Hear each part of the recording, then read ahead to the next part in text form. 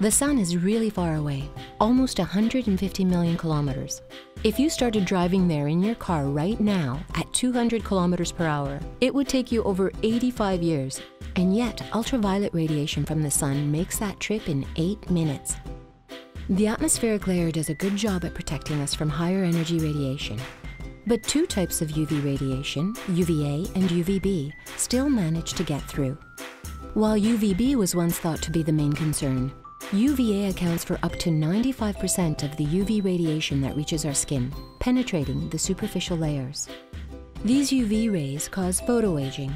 Sun damage affects your skin's ability to repair itself, causing your skin to look older. It's important to protect yourself with an SPF formula. The Aveeno Positively Radiant Daily Moisturizer Broad Spectrum SPF 15 should help protect you from sunburn and improve the look of all five factors of radiance tone, texture, dullness, blotchiness, and brown spots. Natural beauty secrets brought to you by the makers of Aveeno.